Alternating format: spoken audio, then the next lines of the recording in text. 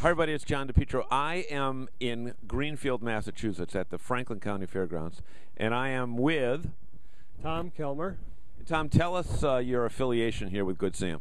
Um, I'm one of nine regional directors. Actually, it's a team. My wife and I, my wife Nancy, are regional directors for the northeastern United States, and it also includes the Canadian Maritime provinces, uh, Quebec, and Ontario. Eh? Hey, That's what that's what they say, eh? hey, and Parlez-vous français? Right. So tell us a little bit about the organization because people think that um, it's just a bunch of people that go out camping for a weekend, but there's really so much more to the to the Good Sam program, isn't there? Yes, there is. Um, virtually anything that you can think that is related to camping, not just RVing, uh, but we have members that are tent campers, uh, camp in vans, up to multi-million dollar motorhomes.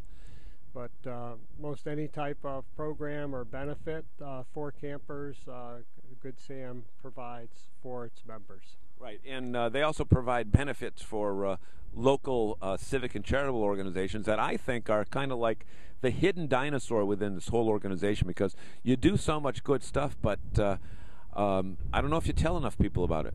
I think you're exactly right. It's probably uh, one of the largest uh, charitable uh, or volunteer organizations uh, in in the United States. Uh, all the local chapters uh, generate funds for charities as well on the state level and on the the corporate level or North American level. and that's really what it's all about: is the the Samaritan spirit and helping others. But I think it is probably one of the best kept secrets uh, in the RV industry and uh, also publicly. If somebody wants to join Good Sam and uh, learn more, where uh, where can they find out more info? They can find out more info at uh, www.goodsamclub.com